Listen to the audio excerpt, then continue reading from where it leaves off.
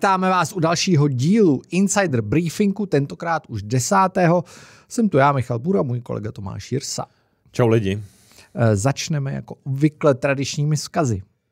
Takže partnerem tohoto podcastu je American Academy, americká mezinárodní základní a střední škola v Praze, projektová výuka, zahraniční učitelé, výuka STEM a studium pouze v angličtině.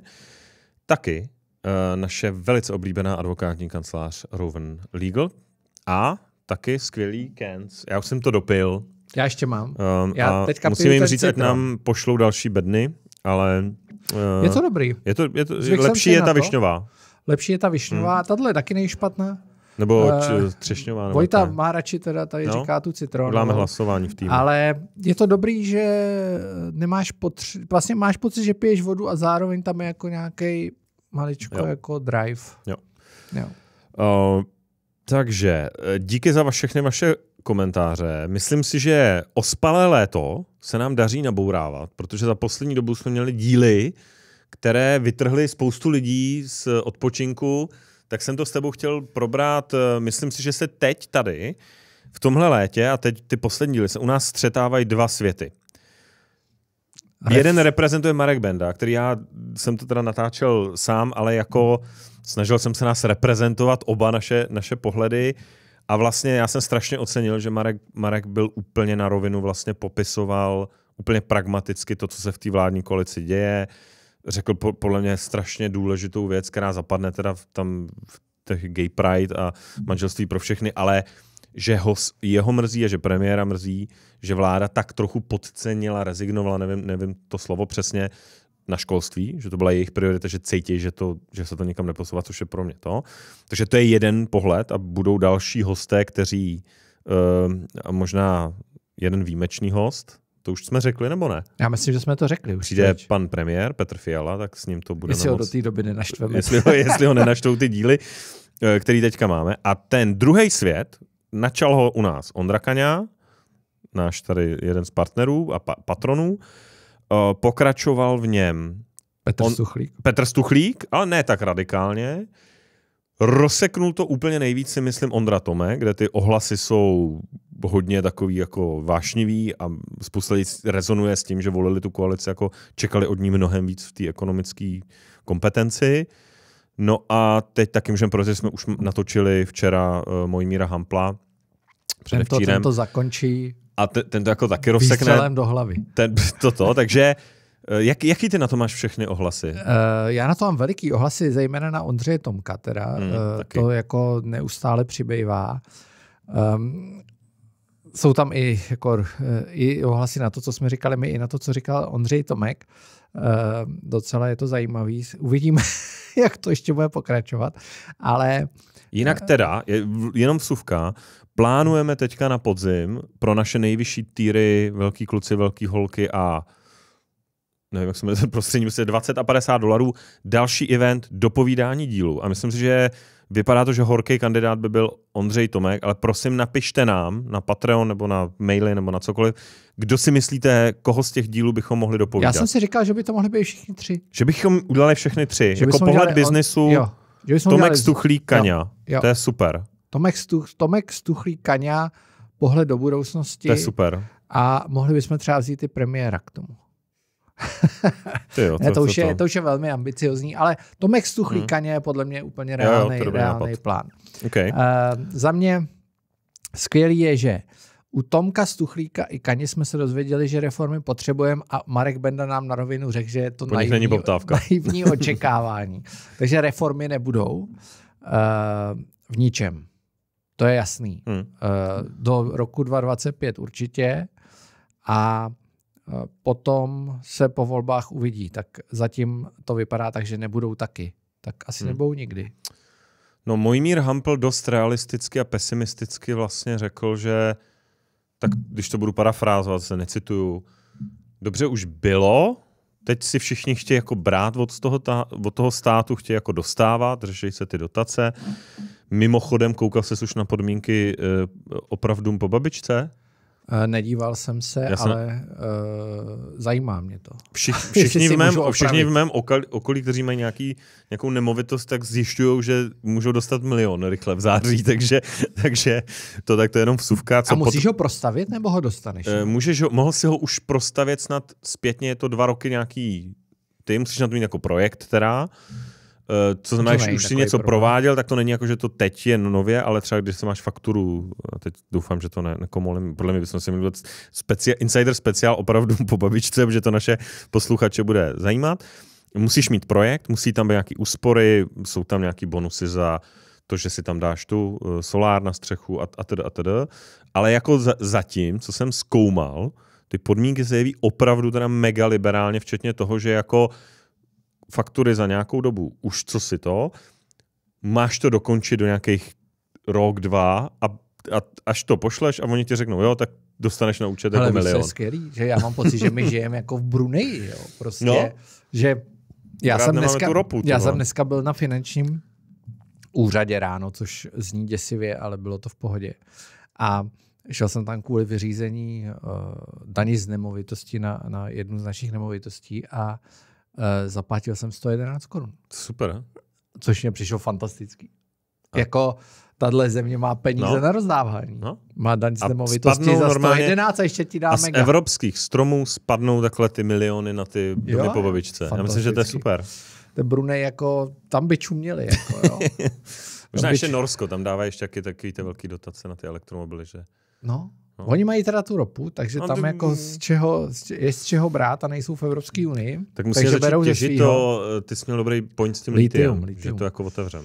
Nevím, je to bizár, jako pokračuje hmm. projídání hmm. pořád. Jo.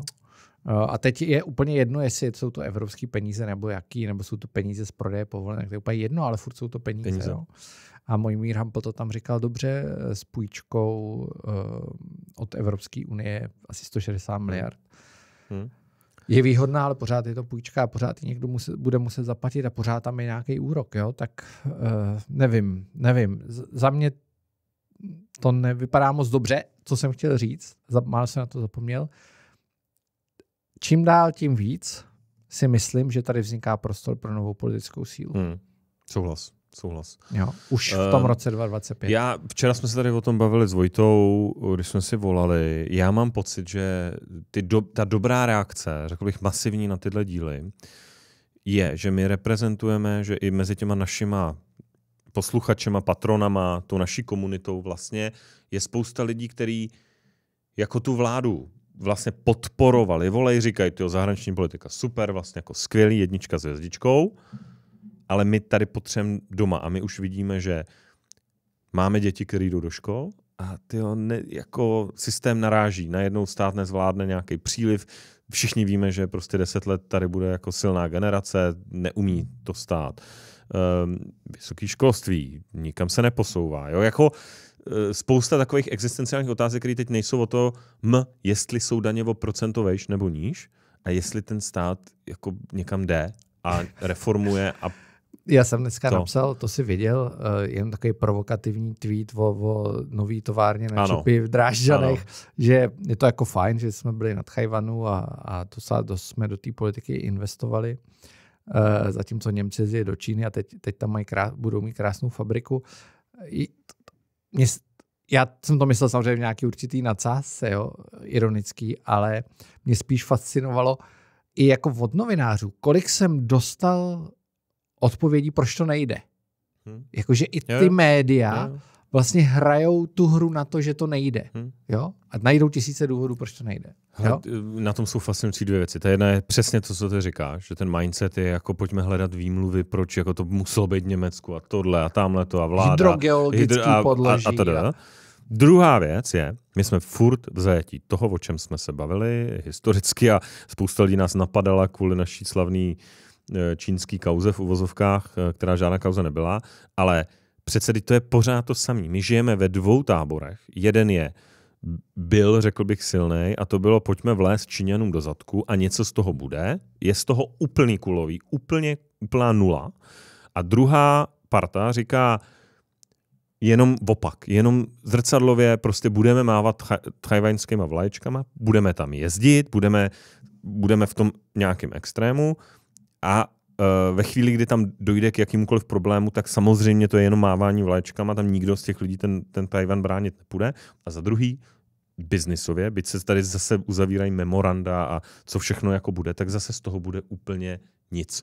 Němci, kteří jsou evropskou kotvou, byli evropskou kotvou Ruska, si dovoluju říct, ještě do nedávna, možná ještě trochu jsou v nějakých aspektech, a byli evropskou kotvou čínsk vztahu jako to Evropa Čína, to jsou pořád, tak Tajvan udělá tu investici v největší evropský kotvě Číny prostě na kontinentu. No a druhou, druhou udělá v Polsku, a, a, nebo to udělal Intel americký a pak je tam ještě někdo v Magdeburgu v Německu. Prostě každý investor, který dřív šel do Česka, tak teď už chodí jenom hmm. kolem. Hmm. Já jsem tady neviděl investora, i nepamatuju. Chápu, že je tady i ta, i ta uh, politika, že my nebudeme podporovat uh, jakoby zahraniční investory na úkor českých. Nevím. Hmm. Jo? Co teda jako budeme dělat? Ne, jako ne, nevím. Všichni potvrzují, všichni oni soutěžejí a my jsme jako řekli, my to dělat nebudeme. Tady je spousta věcí, které teď nejsou o tom, že máme chrstnout miliardy někomu do chrtánu. Nejsou o tom, že máme zvýšit, snížit daně, že, že to. Je tady, jsou tady desítky a stovky legislativních kroků od zastaralého pracovního práva, schopnosti sem atrahovat dobrý jako lidský kapitál a dobře ho zaplatit. Hmm já nevím, no, prostě ne, jako nehejbem se. Nehejbem se a ten, a ten zbytek toho světa se hejbe. No. Ale zase našli jsme spousta důvodů, proč, proč to nemůže být. to nejde. Uh, už jsi slyšel někdy o LK99? Čtu o tom na Twitteru furt a furt nevím, co si o tom má myslet. A kvůli tomu jsme si pozvali Andreho Draveckého. Jo. Čau, zakladatel, founder startupu Ringil, který nově je dokonce zařazen do evropské top 10 i světové top 10 logistických startupů to watch, takže ho máme sledovat, což tady děláme dneska. Uh, takže gratulace k tomuhle milestoneu. Ahoj a děkuji. A? My jsme se ho ale chtěli zeptat na úplně, úplně jinou věc. Celý to vzniklo úplně jinak. se někdy, po, o Ringilu se jo. někdy pobavíme, ale protože ty uh, hrozně sleduješ eh, takový jako trend technologický, hmm. pokud uh, inovační, což je super vodič LK99. Pokud jste o tom nikdy neslyšeli, tak je to uh, velký hit. Teď já si přesně nepamatuju, která univerzita to byla. Žádná univerzita. Že nebyla to univerzita. Mm-hmm. Nějaký jeho korejský, jo, jo. jeho korejský věci přišli s tím, že vytvořili náhodně víceméně mm-hmm. při no, složitý, ty to popíšeš, jo, jo. Eh, vytvořili super vodič, eh, který, co je důležitý, je super vodičem při pokojové teplotě. Eh, říká se, že kdyby to byla pravda, tak je to jako revoluce všeho. Je to úplně nový technologický skok pro lidstvo. Tak, pojď nám říct, co teda je LK99. Jenom jako na úvod, jo. Já nejsem žádný jako odborník na supervodiče, nejsem žádný jako vědec, nejsem fyzik, jo. Prostě jsem jako jenom fanatik, který prostě baví jako věda, nové technologie a tak. Takže jako sleduju to, ale jako nejsem prostě jako vědec, jo. Jak bych řekl něco jako malinko špatně, tak se jako předem omlouvám, ale prostě jo, nejsem, nejsem vědec. Ale uh, supervodiče existují, ale ten problém je, že jsou jako při vlastně nepokojité teplotě. To znamená, musíš jako hodně skladit aby ti jako fungovaly. Třeba máš kvantový počítače, tak už máš supervodiče, ale jsou jako v teplotě, která prostě není pokojová, to znamená, nemůžeš jako používat normálně mm. venku. To, co se vlastně stalo, je, že no se trošku, si pak dostaneme to jako trošku víc jako do blesku, ale vlastně 14 dní, 3 dny zpátky vlastně vyšel jako paper nebo studie o novém materiálu LK99, který má být supravodič při pokojové teplotě. Vlastně jde o to, že oni vzali jako materiál, který je velice jako dostupný, jako olovnatý apaty, což jsou vlastně jako krystal, když to vemu olova.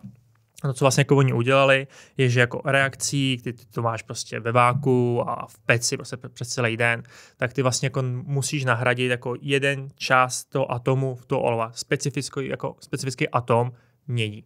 A když to uděláš, tak co se vlastně jako stane, je to, že ta struktura toho krystalu se ti změní o 0,46 stupně, se ti jako posune. V tu chvíli se ti jako částečně ty elektrony v těch atomech jako překrývají a vlastně vytvoří ti vlastně jako ten supravodič nebo ten tunel, kudy to jako můžeš pálit. To je vlastně jako to, co se vlastně jako stalo, s čím vlastně oni jako přišli ven. Vlastně ty supravodiče jsou jako důležitý kvůli tomu, že my v tu chvíli, když jako přenášíme energii, elektřinu, tak máš jako obrovské ztráty. V autě, když máš energii, máš, máš stření nebo prostě máš odpor o, když, když elektřinu a ty ztráty jsou třeba jako 70%. Supravodiči tu ztrátu nemáš. To znamená, že ty prostě jako máš jako mnohonásobně, ale mnohonásobně vlastně víc energie k dispozici. A to je to, co jako lidstvo potřebuje. Civilizace prostě potřebuje energii k tomu, aby mohla růst, posouvat se dál. A v tom je to jako obrovská změna. Ehm, já jsem pozoroval ty reakce, které vlastně byly v několika fázích. Wow, všechno, jo, jo. To, všechno to mění, jo. bude to úplně jiná jiný svět jo. po tomhle objevu. Následovalo, je to absolutní scam, jo. fake, ne, ne, není to možný, nefunguje, to je to jo. podvod. A teď jsme kde? Ale ty jsme... Na... Jaký ale jsme ráno jsme byli někde a za jako jinde, ale to je vlastně jako způsobení jako trošku, tam hodně toho, toho blesku, jo, do toho, jako to, ty člověčinky, jak říká Petr Mára.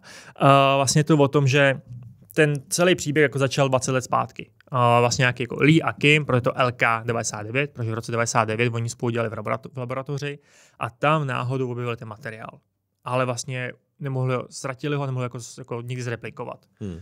20 let uběhlo, oni mezi tím ty práci skončili. Jeden byl profesor na univerzitě, druhý inženýr baterií pro LG vlastně před covidem, v průběhu covidu založili společnou firmu, dostali funding, že to vlastně jako ten materiál znovu jako najdou. Mm-hmm. Tak a to se jako, jako jako vlastně to zajímavý. No i ten materiál teda pravděpodobně jako našli, chtěli udělat ten super vodič při pokojové teplotě a vlastně říká se, je to možná trošku víc jako takový ten spadlo mi jablko na hlavu jako Newton, tak to mm. samé jako je tady, že prej, když to vlastně vyndavali jakoby z té pece horký, ten materiál, tak oni to jako nemohli jako najít, to LKS se nemohli najít, mm. ale jednou to vlastně jako vzali, materiál bouchli o stůl, ta tuba praskla a vlastně v té reakci vlastně jako z toho váku a to přešlo jako do, do, do, do vzduchu, mm. tak v tu chvíli vlastně vzniklo to LK-59. Tady to náhodou. Okay. Ale spíš je to možná Netflix, to je asi jako jedno, ale to je ta, ta story. No, a vlastně v rámci... Takhle v obou případech, jestli to bude jako gigantický scam, i když to bude geniální, tak o tom bude seriál jo, na Netflixu. Jo, jo, takže jako, fantastický ale bude fakt jo, dobrý. Ale podle mě to jako scam jako není, protože jako ten problém vlastně, nebo ten problém, ta situace je pak to, že oni teda objevili to LKS9, začali kolem tomu psát tu studii a vlastně jak měli tu firmu, tak oni tam měli technického ředitele, který ho jako dosadil investor. Mm-hmm. A oni toho technického ředitele někdy v březnu tohle roku vyhodili. Mm-hmm. On si za všechny data, a vlastně pak to přišlo. Oni to jako nechtěli publikovat. Jo, zatím. Jo, protože se jako báli, že by to... Chtěli to ověřit věci jako okolo. Ale vlastně těch 14 dní, 3 týdny zpátky nejdou vlastně na archive ARX YV, což je vlastně jako stránka, ty, když publikuješ paper nebo jako studii, tak ji prostě dáš jako časopisu, kde to prostě prochází nějakým screeningem a tak dále. A ten archive hodně jako vyrost vlastně při covidu, kdy vlastně ty věci prostě dávali jako okamžitě ven, vlastně jako peer-to-peer lidi to jako mohli kontrolovat, mm-hmm. čekovat a prostě bavit se o tom. No a tady ten týpek, vlastně nějaký Kim, jak se jmenuje, tak vlastně jako vydal paper, vlastně, kdy byly tři, ten Lee, Kim a ten třetí, vydal paper s těmi výsledkama a vydal Hezky. ho vlastně ven. No a vydal to z toho důvodu, protože Nobelovku můžu mít akorát tři lidi.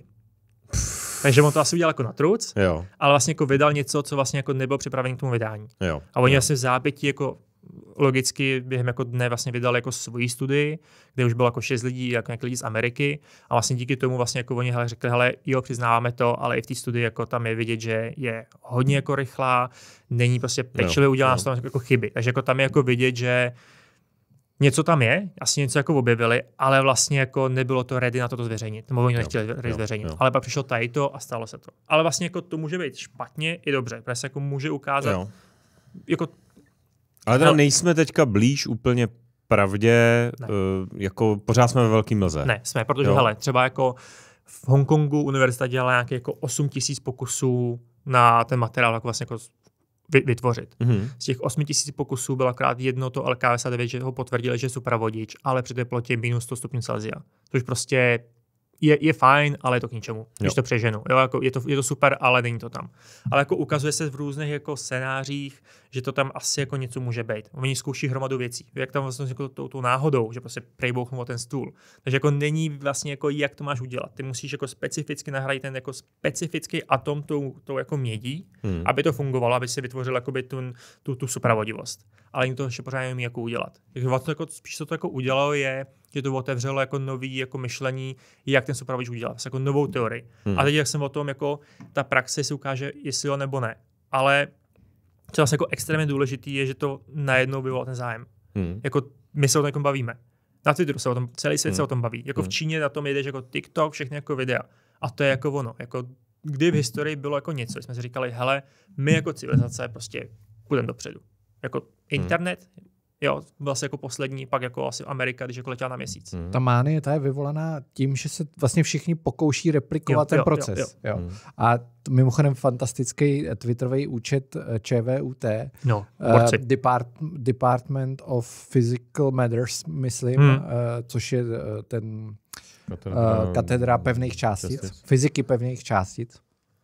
Uh, dělá ten pokus taky, jo, jo, ještě jo. není v té fázi, eh, kdyby ho měl hotový, teďka ho nějak proměřuje, už, mm, už mm. jako uvařili, upekli uh, a uvidíme, co z toho bude. A tu a tam se vždycky objeví, že je to jako uh, blbý. Včera jo. byla univerzita mm. v Pekingu, která řekla, že to je jenom magnet. Jo ale potom to zase někdo vyvrátil, že to udělali blbě a takhle to je vlastně, to hrozně zajímavé. To není jako, že hodíš prostě jako sáček jako čaj do vody a budeš místo čaj. Prostě to je jako hmm. složitý proces, který vlastně jako nikdo neví, jak máš jako udělat, ale už to jako vytvořilo jako ten zájem. A hmm. najednou vlastně to je to, co najednou vlastně ty lidi, ta civilizace říká, hele, jako můžeme dopředu. Všichni jsme jako jo. pozitivní, což je skvělý.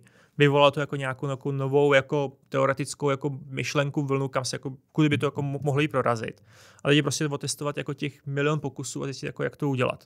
A hlavně to, co jako udělalo, že to, jako, to vypadá, že tam bude jako hromada peněz. Hmm. Prostě hromada peněz tam hmm. bude. Protože jako ten skok, který to jako v té civilizaci jako může, může udělat, být. je extrémní, ale extrémní. No, ten hlad i tím, že uh, my se pořád bavíme jako o revolucích. Hmm. Zelená revoluce, teď elektromobilní revoluce, ale u všech těchto těch revolucí v uvozovkách vlastně narážíme na tvrdý fyzikální hmm limity. Jo? Ty baterky jako super vždycky o to procento, dvě, tři, někam se to posune, změní se technologie, rozměry se stlačej, ale uh, Tesla, která do toho asi nejvíc šlape, uh, tak pořád. Teď jsem se zkoukal, jakým roste, roste, rostou dojezdy o kilometry, možná jako o desítky kilometrů za rok, dva, tři, ale jako nemáme něco, co to. Stejně tak uh, když se díváme na ty, řekněme, zelené technologie jako pro obnovitelnou energii, i ty soláry. Jako všude jsme v limitech, kde se jako, jako zlepšujeme, zlepšujeme a tady to je něco, co by najednou jako byl skok nepředstavitelné. Jo, to je vlastně úplně jako jiný manci pro tu, pro tu civilizaci. Hmm. Jako, ne, prostě, jako ty víš, tam už ta cesta prostě je, teď hmm. akorát jako jí projít, ale jako hmm. jako víš, že už tam jako je, jasně ten skok prostě jako nebude, že zítra to bude jako tady všichni jako budeme jako lítat jako v autech a bude všechno super. Ta jako infrastruktura to bude jako desítky, desítky let, než to jako změní. Hmm. Ale jako už tam cesta bude. Jako ohromný jako nový business, AI se tím jako strašně posune, hmm. kvantový počítače, ty můžou být jako hmm. velice jako rychlý. Druhý je telefony prostě a tak dále, jo, že ta, ta elektronika jako ta, ta ztráta je jako 70% prostě jako energie, baterky, který, jo. baterky, který jako hmm. my ztratíme, hmm. 70% je prostě extrémně jako noc. Hmm. A pak hlavně máš ten i výpočetní výkon, že Všichni jako řešíme AI věci okolo, chybí nám grafické karty, nebo jako grafické karty. No, ne, tady jako z těch supravodičů ty může jako udělat jako vlastně jako kvantový počítače při pokojové teplotě. Hmm. To je bláho, jako. Super. To je Hlavně super. se ukazuje, že teorie nerůstu ano. No. Na, třeba i na tomhle jako je vidět, že úplně nefunguje. Jo? No, jasně, že ne. Že aby se posunul a konec konců tohle je asi lepší cesta k nějaký udržitelné civilizaci, uh, než, než zalíst do jesky. No, jasně. Hmm. Děkujeme kapitalismu. Souhlas. Přesně tak. Byl pěkný no super, závěr. super. No tak ti děkujeme. Já díky. se pěkně. Super, a mě napadá, tyjo, protože jsme tady už se o tom bavíme, že vlastně bychom stejně mohli udělat nějaký takhle jako weekly, monthly nebo něco jako v těch briefinzích, takový technologický okýnko, my jsme tě tady mohli jako využívat. My jsme tě tady mohli usadit. My, my jsme s tebe mohli dělat takovýho jako, že chceme kolem Insidu jako, jako víc expertů na ty témata a podle mě bychom to mohli vlastně vykopnout s tebou. No. Dobrý. Tak krásný. Budu těšit. Díky, Díky moc, kluci. Díky. Čau. Čau. Čau, čau. Tak, Druhá věc, uh, LK99 je, je, je zajímavý fenomén. Uh, uvidíme, jak to dopadne, ale vracíme se do zatuchlého bahna uh, domácích kaus, které o ničem nerozhodují. a jedna z nich je kauza, kauza v uvozovkách ústavního soudce budoucího, možná, možná ústavního soudce Roberta Fremra, který čelí nařčení, že udělal vědomně řadu uh, rozsudků během komunistického režimu, který uh, byli nespravedliví a poškodili jako zástupce dizentu. Nejenom dizentu, nejenom dizentu. A uh, Petr Pavel jej uh, na ústavního soudce nominoval. Senát to byť ne úplně jednoznačně, ale nakonec to tak dopadlo, schválil navzdory výhradám Marka Hilšera a spol. A teď se rozhořela strašná debata o tom, co dál, protože se objevují další a další rozsudky, které dokládají, že eh, to působení za komunistů soudce Roberta Fremra asi bylo jako hodně komunistický, abych to zjednodušil. Můžu k tomu citovat? Můžeš. Jeden tweet, který mě v tom přišel úplně vlastně skvěle, kdy to dává vedle sebe, citujeme hospodářské noviny, Ekonomia, eh, Jan Kubita, se to strašně líbilo. V kauze Fremer trochu zapadá, že trestním soudcem byl za komunistů i Josef Baxa. Jen ovšem s tím rozdílem, že zprostil obžaloby dva signatáře Charty 77 a odmítl odsoudit petici několik vět.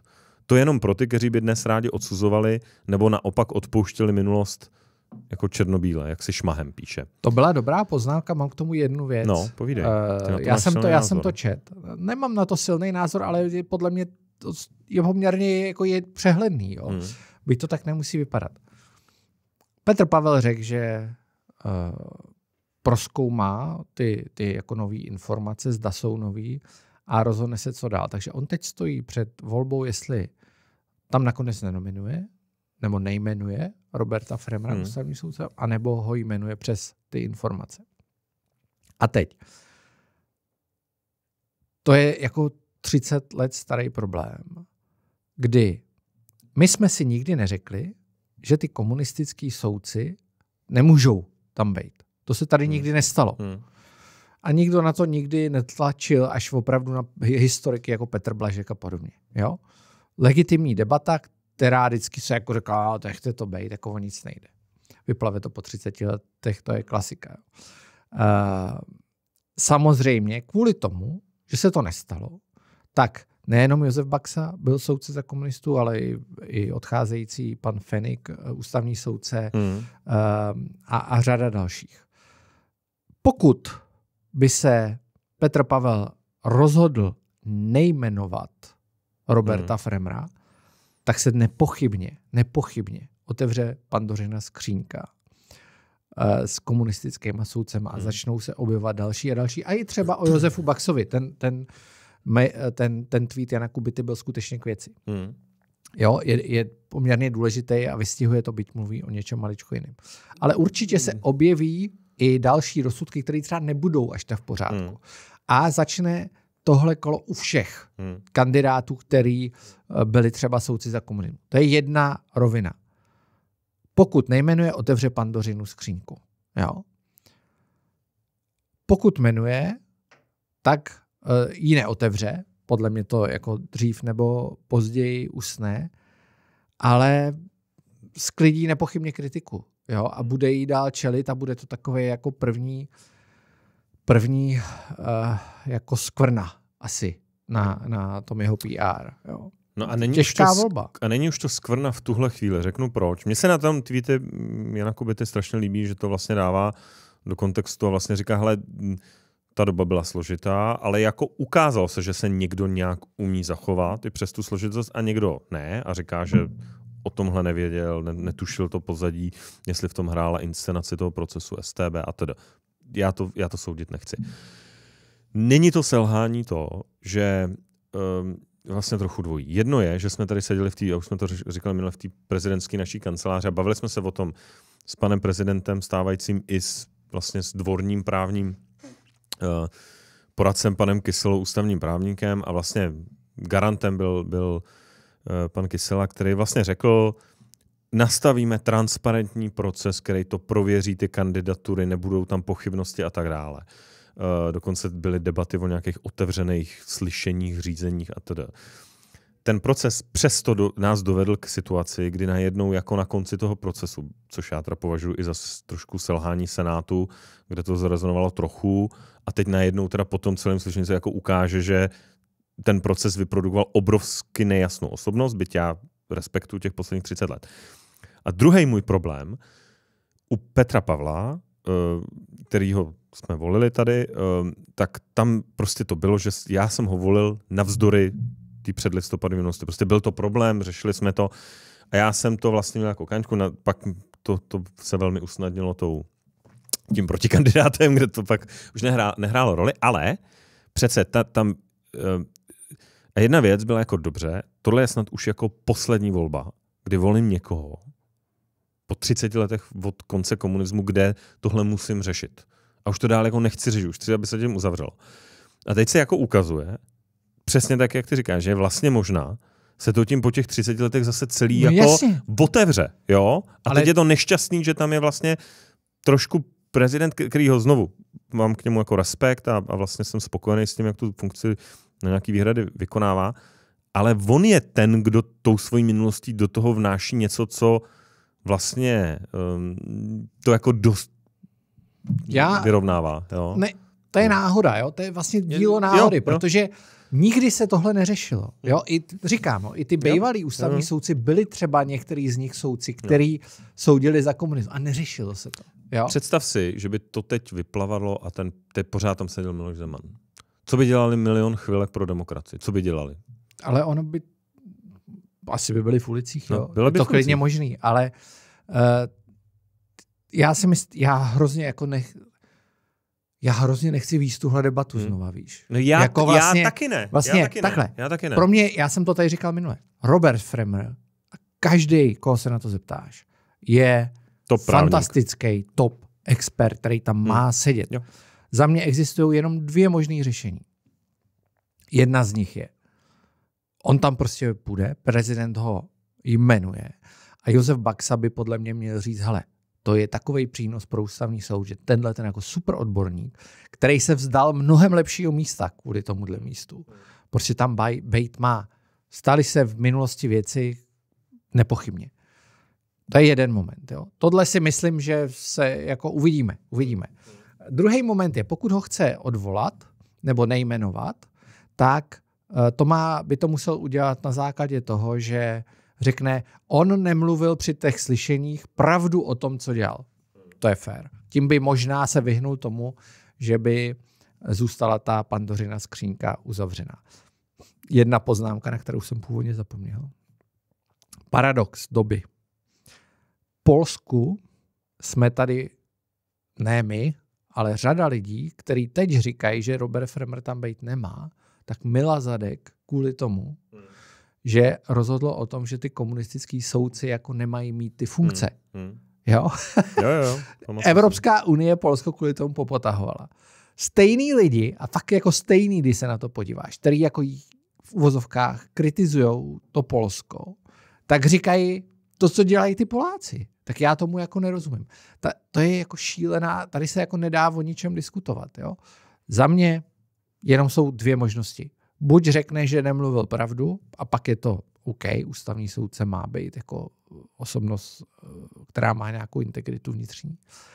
A nebo, nebo ho potvrdí a tím, tím pádem jako uzavře ty pochybnosti. Protože já jsem si, ty pochybnosti, tam jako profesní pochybnosti nikdy nebyly a, a, a určitě tam nebudou. Jo? Takže nevím, no. Je okay. to bizár, prostě zase, jako 30 let. Hele no, tady je LK99 a ty tady vedeš debatu o tom, o tom co... co někdo dělal v roce 83. No, jako. No. Ale tak jako zase je tam inspirace, lehká inspirace eh, Amerikou, že když si vzpomeneš na uh, Breta Kavanoa eh, taky do eh, nominaci do ústavního soudu, tak se taky řešilo, jako jestli někde na pokoji před, eh, no. na, na vysoké škole jako se nechoval nevhodně. Nakonec tam je a, a co se jako stalo. No, no. Jo? Jo? Takhle jako změnila se řada věcí, ale nikdo ne, nespochybňuje jeho jako profesní zdatnost. Jo. Tak, další věc, kterou, kterou musíme trošku, což je zajímavý na formátu briefingu, že k Myslím si, že k našim standardním dílům chodí hodně feedbacku jako k celku, k briefingu vždycky chodí k se, specificky k těm jednotlivým tématům. Ty si teda taky uh, dostal asi dost uh, intenzivní zpětnou vazbu na své silné teze, nebo naše silné teze na, v kauze, uh, v brněnské kauze jo, jo, jo. Ča, čárové, lajnové. Psal mi um, Svatopluk Bartík, o kterém jsme tady hovořili. A to je fascinující, že on to taky poslouchá. Poslouchá, poslouchá. Hmm. poslouchá ne, a ten rozhovor nebyl nepřátelský, jo, to, hmm. to, je třeba jako, to je třeba říct. A my jsme tady říkali na základě, a to, to jsme si nevymysleli, jo, to jsme si říkali, že on má nějaké jakoby se zná se s, se státní zastupkyní Petrou Lastoveckou, myslím, že jsem tady spletl hmm. jméno a zaměnil jsem jí za Dagmar, bývalou primátorku. A e, on říká, že ne, nemá, že jako hmm. ne, není s ní nějak propojený. E, my jsme, to si myslím, že je důležité, aby zaznělo, my jsme to ale neříkali na základě toho, že bychom si to vymysleli, ale, nebo já jsem to říkal, ale říkal jsem to na základě hmm. interpelací eh, ve sněmovně, kdy kdy ministr Pavel Blažek to, to říkal sám, hmm. jo, po dotazu jednoho z poslanců ODS, pokud se nepletu. A uh, Svatoplů Bartík mi říkal, že se bude bránit, že to ví, okay. že, že, že to v té interpelaci zaznělo a že se proti tomu bude bránit, protože s tím nemá nic společného. Co mě ale zarazilo, no, no. Já, hele, já, já jenom jediná poznámka Svatopluk Bartík, já nikdy jsem ho nepotkal, ne toto, ale potom jeho teda opravdu fatálním výkonu v tom, jak oznámil, že má Miloš Zeman rakovinu. že Miloš Zeman umře do pár měsíců a takhle. Celý to byla totální, absolutní ptákovina fake news, dezinformace. Nevím, jestli už ten soud jako prohrál nebo co. Prohrál, jo. prohrál, prohrál. Tak jako... Jasně, no, to, to je jiná jediná, věc. Jediná poznámka. Jo? To je jiná věc. Eh, každopádně je vidět, že politické vody eh, v Brně jsou složité a ano, zahnívající. Ano, ano, ano. Co mě zarazilo, co mě zarazilo, je vlastně, jak to pokračuje. Hmm. Myslím, že si nechali udělat drogový testy, testy. drogové testy a tak dále. Asi dopadly negativně, nevím. Já no, jsem to jsem nes, nesledoval, výsledek. ale co mě zarazilo, je, že jsem slyšel, že Markéta Vaňková už by neměla kandidovat znova. To se shodujeme. Já jsem mluvil s jedním jako velkým brněnským insiderem a ten říkal, že ta napjatá situace už byla po těch posledních volbách, kdy to sklouzlo do velké roviny osobní. Ne Markéta Maňková, ne Markéta Maňková, pardon, omlouvám se. Robert Kendall už by neměl eh, se znova ucházet o já jsem to teda, náměstek. Nevím, to, já jsem slyšel informace jako spíš o ní uh, a měli jsme ji tady v Insideru uh, nebo ve vletu Tugendhat, že je, že tahle kauza ji překlopila do něčeho, co už v ní kvetlo delší dobu, nechci mluvit za ní, ale že je to blízko rozhodnutí se dál jako neangažovat v politice, že to vybírá si velkou daň. E, my jsme tady minule kritizovali tu krizovou komunikaci, která byla za nás nezvládnutá. E, teď se to někam vyvíjí. Já to nechci komentovat. To, co se spousta lidí diví, je, že někdo řekl, že by se měl vyšetřit původ toho videa. A to já si třeba myslím, že je, nebo fotografie zatím, ale všichni říkají, že to je video, že je třeba dost ostrá věc, protože jestli je pravda, že to je záběr z bezpečnostní městské kamery v Brně, na někde, nevím kde, na náměstí nebo v té lokaci, kde to jako proběhlo, tak mi to přijde jako absolutní hardcore. Je to jako, je to využití něčeho, co ten stát má na to, aby dohlížel na nějakou základní bezpečnost na ulicích nebo když se stane nějaký zločin. Což země dělal. Což je, což, což jako to. Představa, že se to překlopí do jako nástroje politických nebo možná pak i soukromých válek eh, je naprosto děsivá. A v tomhle já teda, nevím, neznám úplně detailně roli Pirátů v této kauze, ale Naprosto s nima souhlasím teďka v jejich odporu vůči facial recognition kamerám, Naprosto. který testuje policie, no městská policie někde. Takže v tomhle mají Piráti naši podporu, protože to, jako tohle je na té kauze, že někde se něco stalo v Brně s bílým práškem. Dobře, Markéta Vaňková nepochybně ponese politické jako následky, ale tohle si myslím, že je téma, který se týká nás všech, ať už jsme v politice nebo nejsme, jako zneužití nástrojů toho státu k osobním politickým vendetám a to by nás mělo jako děsit všechny. Já si myslím, že Piráti to dokonce prosadili nebo prosazovali minimálně na evropský úrovni, možná prosadili, aby se jo. ta facial recognition uh, nepoužila, nebo to prosazují. Jo. Něco jo. takového v Česku to určitě prosadili. Jo. Ale v Evropě to bude složitější, protože tam se facial recognition uh, určitě používá, hmm. byť nepřiznaně. Uh, tak, no, jsem jo. zvědavý, co se stane. Poslední, Poslední uh... kauza posledních dní, která hýbe biznisovým světem za našimi hranicemi a týká se České republiky, a hýbe? je... Hýbe? Já, ve Francii takhle, hýbe. hýbe ve Francii, ve Francii ale hýbe. v Čechách se o tom v podstatě nemluví. Ve Francii, v Česku se nemluví o zásadních věcech obecně. A vozval se nám jeden z našich pa- patronů a um, um, jsme za to rádi, Robert Neruda, uh, a poskytnul nám docela zajímavý insight. Ty možná jako popiš vlastně o, o jde, intro. Jde o to. Intro je jednoduchý. Dan Křetinský uh, kupuje, uvidíme, jak to dopadne, kupuje něco, o co se snaží dlouho, což je uh, francouzská IT firma Atos, jedna, jedna z největších na světě. On kupuje teda její část, ona se dělí na dvě a on tu IT část uh, by měl koupit je to dost zásadní investice, která nadzvedla uh, republikánské poslance, republikánské třeba zdůraznit, jich asi 80, uh, eh, francouzské, kteří říkají, že je to nebezpečný, jakože z hlediska bezpečnosti a to vyvíjí mimo jiných řídící systémy pro jaderné elektrárny francouzské a podobně. Je to trošku bizár, protože Daniel Křetinský je z Evropské unie, ale to už řekne Robert Neruda. Dobrý den. Zdravím vás z Francie, kde jsme na dovolené a Francie se týká i případ, eh, který mě zaujal. Týká se společnosti Atos, což je francouzská společnost, ale také jeden z největších eh, světových poskytovatelů služeb IT, kyberbezpečnosti, eh, superpočítačů a Eh, cloudu. Tato společnost se má rozdělit do dvou částí. Jedna, která bude poskytovat takové ty tradiční IT služby, tak do ní má vstoupit Daniel Křetinský a stát se stoprocentním akcionářem. Ta zbývající část, ta se přejmenuje na, na Eviden a má nadále poskytovat takové ty nejcitlivější služby kyberbezpečnosti a má poskytovat i nadále služby francouzské armádě. I do této společnosti má vstoupit prostřednictvím kapitálové investice EP, eh, e EP eh, e Equity Investment eh, Daniela Křetinského a na konci té transakce se má stát Daniel Křetinský ultimátně 7,5% akcionářem Evidenu. No a to se nelíbí 80 zákonodárcům, z francouzského parlamentu, který napsali otevřený dopis vládě, aby zvážila kroky proti této transakci, protože eh, Eviden má poskytovat ty senzitivní služby eh, francouzské armádě, například jde o eh, používání superpočítačů pro simulaci virtuálních nukleárních testů, no a že není vhodné, aby tato společnost byla v rukou Eh, zahraničního eh, investora.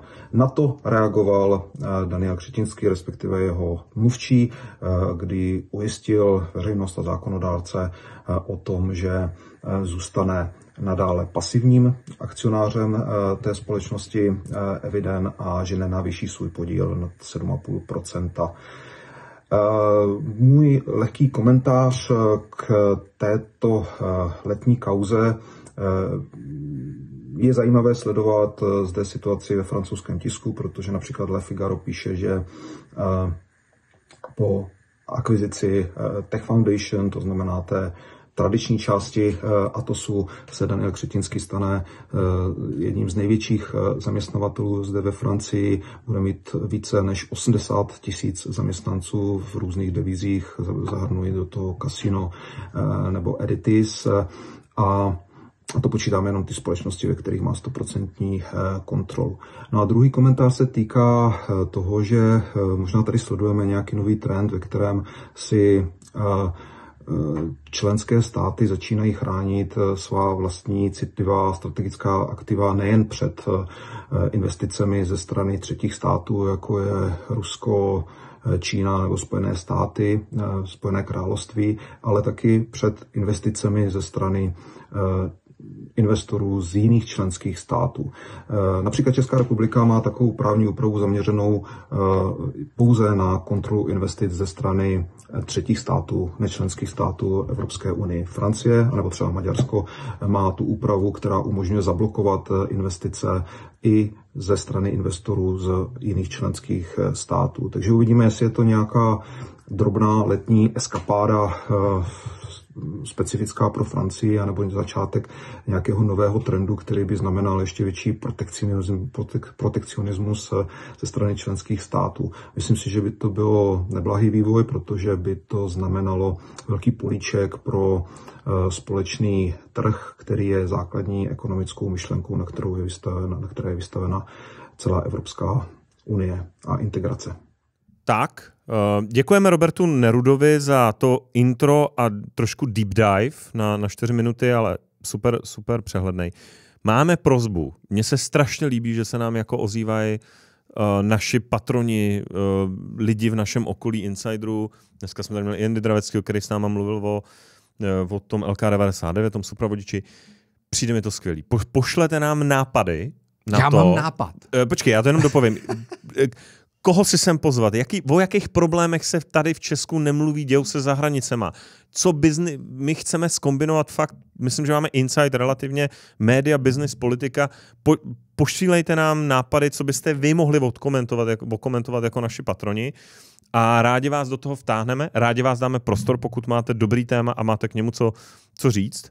A a chceme z toho briefingu udělat vlastně druhý formát vedle, vedle standardních dílů, kde jako pořešíme věci, který, na které v tom velkém díle není prostor a jsou takový aktuálnější. Co máš uh, nápad? Já mám nápad, koho bychom tam mohli dát příště. A nevím, jestli to podaří, je to jako, myslím si, že to nepodaří, ale já jsem viděl na Instagramu Leoš Mareš, no. jeden z našich patronů, uh, leze, jde čtyři dny na Inca Trail na Machu Picchu. To. A vlastně jsem to si, jsem viděl taky. A vlastně no. jsem si říkal, že uh, to už vyžaduje, to je nějaký fyzický výkon, ta Inka to není jako žádná sranda čtyři dny jako ve vysoké vejšce a uh, říkal jsem si, že je bylo pěkný si o tom v briefingu popovídat. Leoši, jestli pokud pos- nás slyšíte, slyšíš, my říkáme, přijď do Insideru, všechno to probereme. Můžeme to probrat v briefingu jako Machu Picchu, anebo uděláme velký díl, kam už jsme tě zvali. Jasně, velký díl by byl super, uvidíme, jestli to, to někdy dopadne, ale i Inca Trail v briefingu by mě jako bavil. Jo, to je dobrý nápad. To je fakt dobrý nápad, no. Tak jenom Inca Trail, dobře. Tak uh, jo. Tak jo, ale fakt platí, pošlete nám přes naše sítě info zavináč insiderpodcast.cz skvělý je, někdo mi psal, to jsem tady už říkal, po, jak jsem říkal, že tady kitesurfu, tak mi hned někdo psal, že nám dá slevu na kitesurfarské vybavení. Uh, co, co ty děláš? Co, co, co nám můžou tady nabídnout lidi? co ty? Já nevím, mě vždycky někdo eh, se, se hrozně rozčiluje. Minule jsem mluvil o AI a jedné nejmenované monitorovací agentuře a je z toho strašný pozdvižení no. ve vydavatelském biznisu. A uh, Třeba ti dají slevu na monitoring. To no, to oni určitě ne. oni jako eh, teď jsou zrovna ve válce s, těm, s vydavateli. Ale uh, uvidíme, no, takže jsme rádi za ohlasy. Super, díky a Děkujeme. ohlasy k nám. Mějte se pěkně, díky. díky. Čau.